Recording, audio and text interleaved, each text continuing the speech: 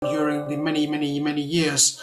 But now again, I'm, I'm really, really happy uh, to really illustrate about this great collaboration uh, and very much happy to invite the UNESCO Assistant Director General for Education, uh, Stefania Giannini, together uh, joining us in, in this session. So just a couple of words before I give the floor to her. Um, just to um, opening a little bit about her background. So she started in this current position in May 2018, becoming the top UN official in, in this field. And in this pos position, she provides strategic vision and the leadership, of course, in coordinating and monitoring the implementation of the Education 2030 agenda encompassing in Sustainable Development Goal number four, which we all know is the education goal. Uh, with an academic background in the humanities, um, she has served as a rector of the University for Foreigners of Perugia in 2004-2012, being one of the first and youngest women uh, woman to, to hold this position in Italy. As a senator of the Republic of Italy 2013 uh, until 2018, and Minister of Education, Universities and Research 2014-2016, she developed and implemented the structural reform of the Italian education system centered on social inclusion and cultural awareness. And with these words, I'm really, really happy to um, invite um, Madame Stefania Giannini to join us. So we are going to do that in that way that she's going to give the her speech first, and, and then kindly uh, also promise to take a couple of questions. So this is my alarm now for the audience to be ready uh, to put your questions to the room chat or, or um, uh, raising your hand as, as well, perhaps putting mostly in, in a chat box. That would be perhaps the easiest way for us to collect the, the questions um, and, and then hopefully having a couple of times for the discussions as well. But I'm, I'm really happy now to hand over the floor to uh, Madame Giannini. Really, really happy to have you here. Thank you very much for joining us. Thank you. Thank you very much. Good morning, uh, good afternoon, uh, good evening, everybody, wherever you are. And thank you to you, Mr. Chair and founder of Bridge 4.7 for inviting me in this uh, important uh, meeting. Uh, well, uh, it's really a pleasure uh, to join you today. I know you already started uh, the morning on the right notes, and now the panel is, is, is on Imagine a Future with Target 4.7, that is very much close to UNESCO role in this pandemic reaction to a response to the pandemic in this recovery phase. Uh, uh, I thank you uh, also for your commitment uh, to putting this target into practice. Uh, uh, let me say, first of all, just to start, that I see really 4.7 as the, as the real engine to transform in mindset to chart a more sustainable path forward. And, uh, and let me first uh, focus a bit uh, on the on the on the context we are, uh, the state of the art, a short picture uh, about the, the, the impact of the pandemic and how we can take maybe this uh, this crisis as an opportunity. well, the pandemics the pandemic has only stepped up the urgency of of uh, uh, putting uh, into practice a kind of um, you know values oriented approach in education and uh, it has uh, highlighted our interconnectedness to a degree which uh, has never been so global, nor so intimate, affecting every family, every community, every country. And it has unfortunately laid bare deep inequalities and fragilities. This is something that UNESCO, uh, you know, started from the beginning, uh, uh, putting on the screen numbers uh, uh, related to school closures uh, to, to alert about. And uh, it has led uh, to shadow pandemics. I should say like this, uh, uh talking about gender-based violence, uh, intolerance, increasing intolerance, uh, hatred, and, and everything which is around in very many countries in the world.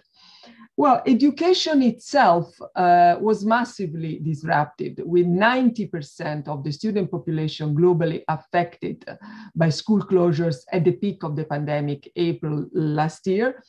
Uh, on average, schools remain closed fully or partially uh, for 28 to 29 weeks, which is really a, a, situation we never saw in history. And uh, we are uh, at a near existential turning point now. And this is very, but why I think it's very much timely to organize a, a, global debate on the, on the issue we are talking today. One, uh, one turning point uh, where the field is open uh, on and ripe to shift a paradigm that we need, or you know, building back uh, better uh, not, uh, not so clearly in case we don't take this opportunity. Let me mention uh, a posi the positive side of the coin, just something which happened last week in Berlin Uh, at UNESCO World Conference uh, on Education for Sustainable Development. Uh, close to 3,000 participants in the virtual room uh, including uh, 80 ministers uh, and more than 12,000 of observers on the website. And this was about signing uh, a declaration, the Berlin Declaration, actually, uh, that has transformation at its core. Uh, we witness a wide sharing of good practices from across the world, driven by passionate individuals and committed organizations to education for sustainable development. Uh, it's telling that 18 member states of the European Union shared uh, commitments to adapt their education systems so that learners develop knowledge, awareness, and action capacity to take action to transform our societies. And this comes down to learning for our planet, to acting as global citizens based on respect for human rights and democratic principles. And this is very much the core, so to say, of 4.7 as the target, uh, which is uh, driving the, the, the, the, 2030 agenda and putting education as a cross-cutting uh, goal in the agenda as a whole um, sustainable development will not happen without education for global citizenship. To build back more equal, inclusive, and resilient education has to transform. And I, I would like to start with this keyword, transformation. The first uh, topic uh, I wish to, to focus on today, and how we need to rethink education for a more sustainable future. The second point from my side is uh, how the vision of education embodied in Target 4.7 is instrumental to pursuing a whole of society approach essential for achieving the SDGs integrated agenda. That means not taking education uh, as, a, as a separate discussion uh, between educators, between people who are in this, uh, uh in this uh, field, but putting education uh, at the core of sustainability and as a pillar for recovery better. And uh, to conclude, I will evoke the how of our commitment to collective action, including plans and partnerships in place and urgently needed investments. So as a starting point, what do we understand by transformative education? It's a very popular uh, phrase now but it's important to, to understand what we are, what we are talking about. Uh, UNESCO believes in the power of education and learning to transform societies and institutions toward a just, uh, peaceful, healthy, and sustainable world. This is very clear. This is almost obvious. Through our programs, uh, we aim to ensure that quality education uh, is a synonymous uh, with transformative education. This is happening against a backdrop of increasing complexity, of increasing uncertainty and inequality. Transformative education then is essential to restore the bonds that characterize our shared humanity and our relationship with the natural world. This is race against uh, time in the face of climate change, for instance, and massive biodiversity loss uh, endangering our future, actually. In a survey conducted uh, last year, yes, by UNESCO uh, on the world in 2030, so now in 10 years, respondents uh, ticked education as one of the top solutions to, to, to, to, to solving the major crisis of our times. From climate change to uh, migration to increasing inequalities as well as intolerance and, uh, and supporting democracy.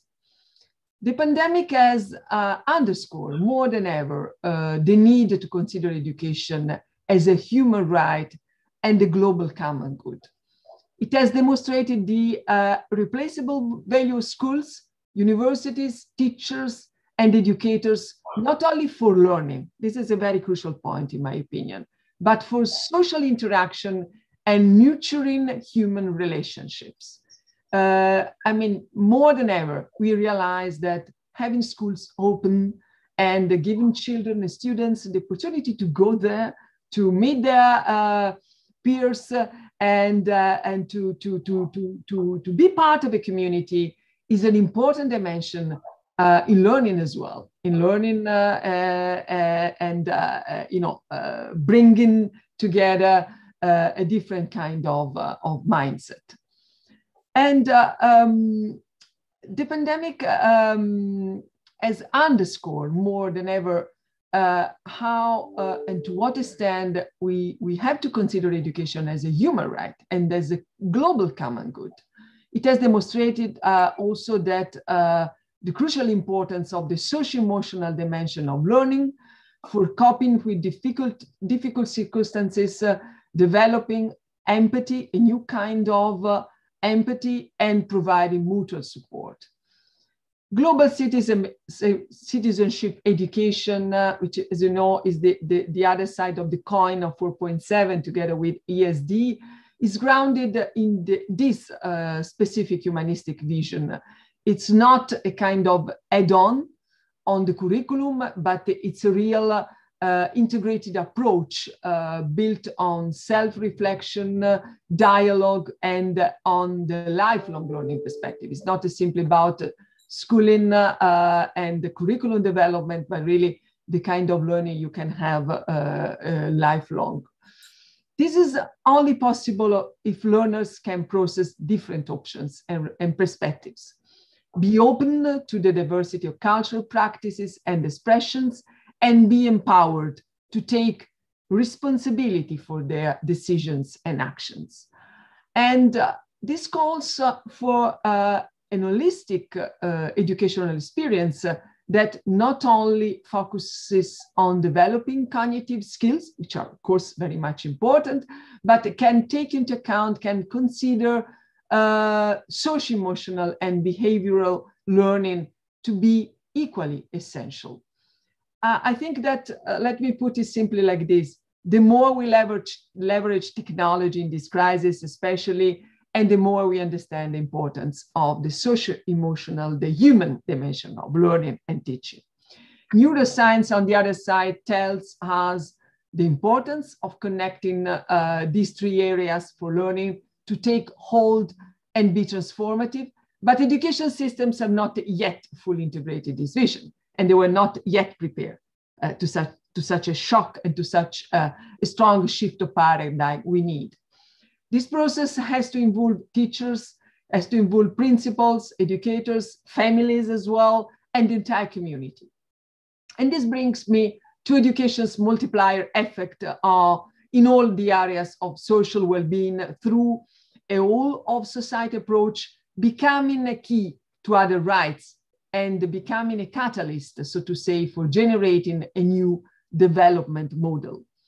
Partnerships within and beyond education must be absolutely strengthened to move from uh, what you call, especially in the UN, a silos uh, mentality to be collaborative uh, uh, and to reflect uh, the interconnection between the SDGs from climate action uh, uh, and reducing inequalities to building strong institutions, just to mention some of the goals you have in mind for sure.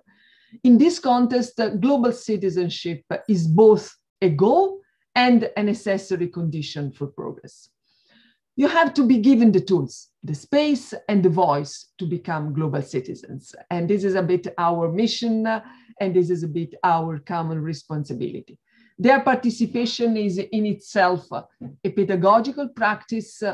Uh, trust in governing institution uh, is uh, at historic lows, we know, particularly among young people. The time is now to strengthen democratic institutions and the rule of law, placing youth at the center as co-creators, not simply participants uh, of uh, the process, but co-creators, real agents of change as leaders. And uh, we have seen such a model around. Let me mention something. We see something I have in my mind. We've seen such a model in the justice dialogues, our joint initiative with the UN Office on Drugs and Crime, focusing on the role of education in strengthening the rule of law, learning about effective advocacy for human rights and equitable societies begins at an early age through acquiring skills, values, and uh, attitudes to make informed and ethical decisions. Critical thinking is also foundational uh, to digital citizenship. We know to counter the tide of misinformation, which is, by the way, very much increasing now, especially through social networks, hate speech, conspiracy theories, uh, and the kind of, uh, how can I say, propaganda uh, fueled by social media as well.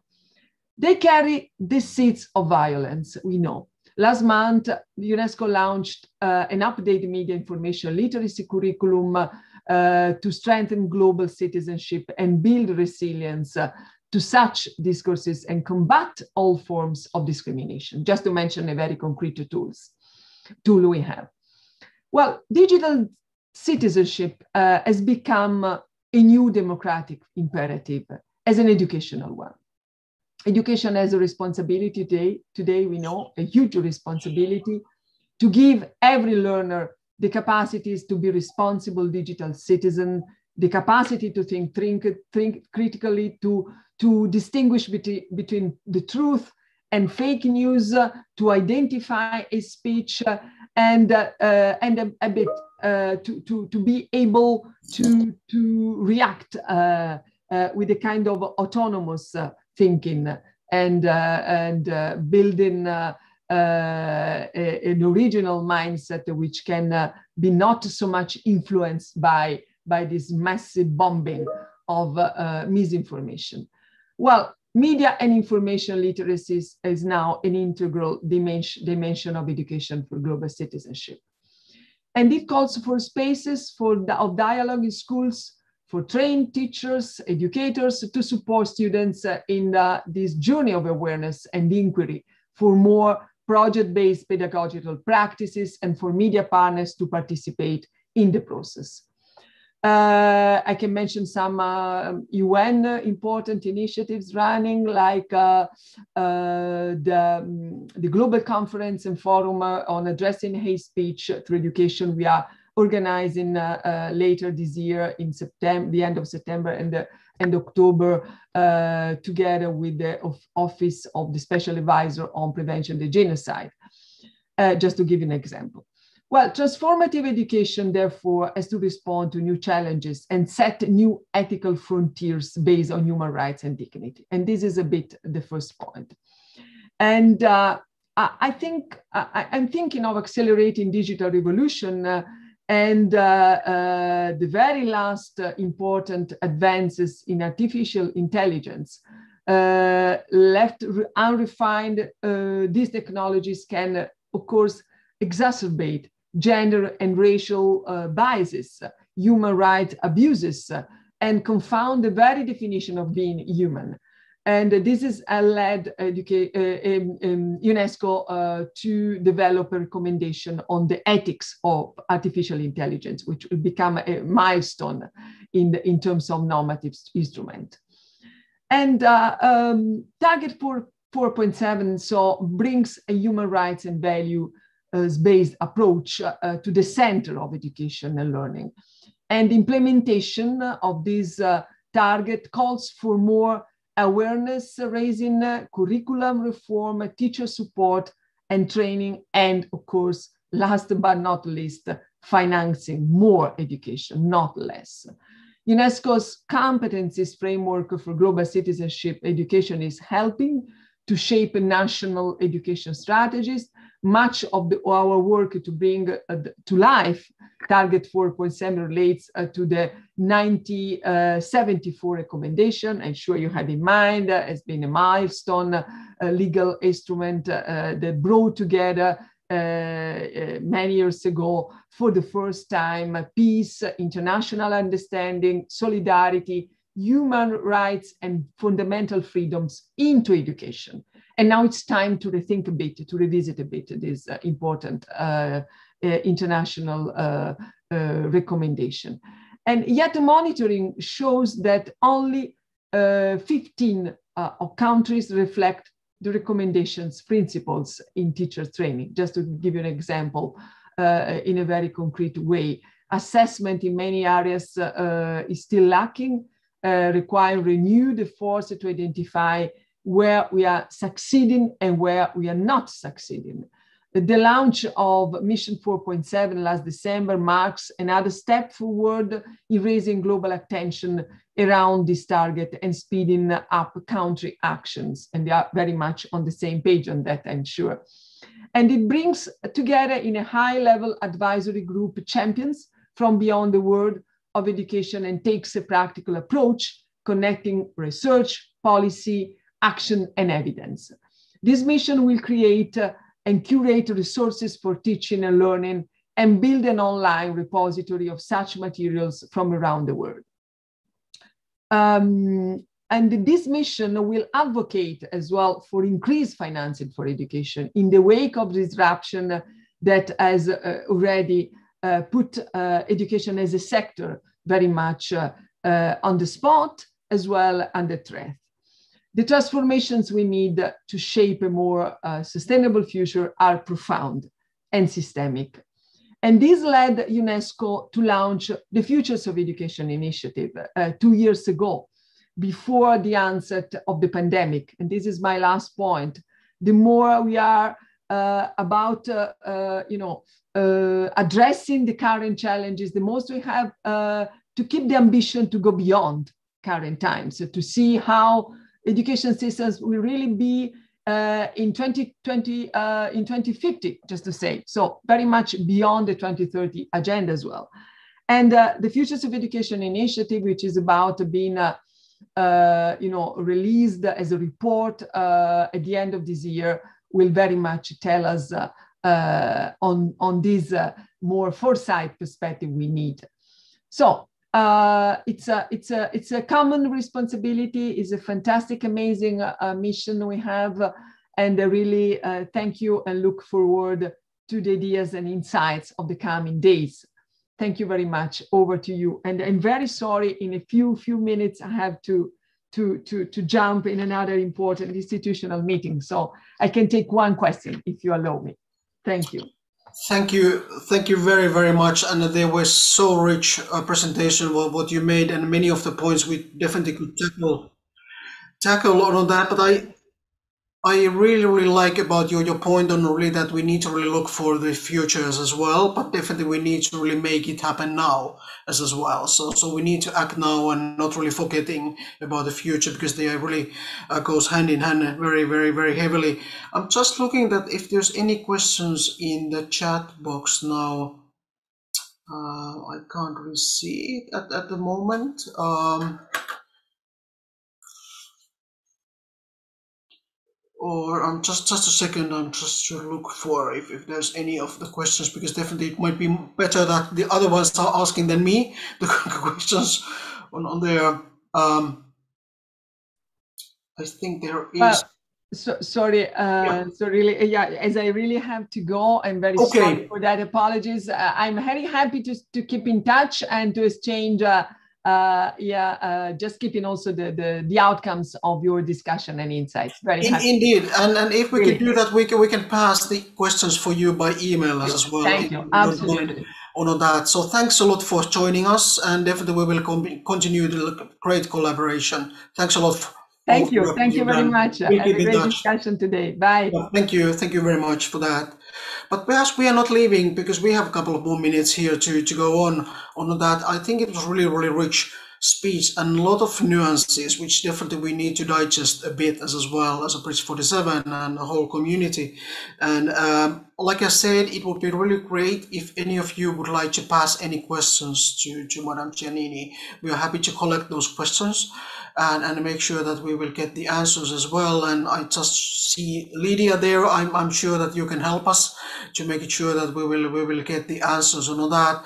Because I think that there's so, so much going on at the moment that perhaps the point also keeping in mind about the the questions and, and the discussions in the panel before the keynote speak uh, speech session, I, I think that the we need to exactly inform. We need to do a little, a little bit more even the communication amongst us because there's so much going on at the moment, and I'm really trying to find out tactically as as well that how could we really exactly use the opportunities what we're having because there are so many opportunities in in the air, uh, and I, I think that it's not against on any of the activities what we need to do because we need to definitely continue like many of the colleagues in the panel say that we need to really continue the capacity development all the time. We need to really uh, continue the networking finding the synergies but definitely we need to do the advocacy as well because we need to challenge the structures what what exist uh, especially about this some kind of uh, fragile world where we are living at the moment uh, not collapsing the current structures, but really developing those so that they could be even more better for making the transformation happening. But also we need to work out of the structures, and, and those are the two sides of the same coin. And that's why I, I think that it's it's plenty of opportunities. And now the question is that how could we coordinate and how uh, could could we really find the best ways how to really make the, the change happening. But I'm not really sure that we can we can easily do that. So I, I really, really have the very strong feeling on that. And perhaps the last point uh, as a reflection for for uh, Madame Giannini's uh, points, I I think it's it's really important that perhaps now the role of the education and the learning, the people are much more aware about those at the moment. That that's really is really the great opportunity. And and when it really comes back to related to the human rights and the values, I, I think that is, it's really, really, really urgent. Urgent urgency at the moment, but really the great opportunity. So I, I think that this is really, really now it, it really just depends on us how we use this this opportunity. And and that's that's perhaps my, my point to encourage all of us to think about a little bit out of the boxes as well. Um, we are heavily definitely we would like to get the strategies in the political frames on, on there but it might be that we need to do other exercises in parallel and perhaps this is my invitation for all of us to really think about at the same time traditionally but same time a little bit differently huge challenge but i, I I'm, I'm really sure that we are ready to to take this this challenge uh, for for all of us Okay, I'm uh, really happy to conclude from my side here. Um, just, just a point to see that we also see a little bit on the graphic harvester here. So that's great reminder for us when we are reflecting and, and as a part of the learning process, when all of us hopefully take the time and really reflect also the points that has been uh, collected here in, in the summary. So thanks a lot for, for that. But perhaps letting you go out, I think, Ricardo, you are going to guide us for the next action point. So over to you, Ricardo. Thank you so much, really. Um, it was a wonderful keynote speech. And uh, yes, we are having a one and a half hours lunch break now. Uh, afterwards, we are going to continue with the question of how to engage our audiences. And in this session, uh, we will be presented with inno innovative methods for engaging citizens to the Sustainable De Development Goals. And yeah, it will be a space to reflect, uh, share reflections and accesses, successes in many projects and learning out outcomes from projects around the world. Yeah, unfortunately, uh, we are not having the possibility to, yeah, sit down in person to have a drink and have uh, lunch together. But nevertheless, uh, we still would like to provide you the opportunity to meet each other, to network, and uh, that's why we have created some breakout rooms for you. So these uh, next one and a half hours can very well be used. So um, if you want to use this time to meet some colleagues. Um, you can join one of the rooms we have created for you. Uh, we were very creative in naming these rooms. Um, so one of them is called Global Citizenship Education in Modern Times.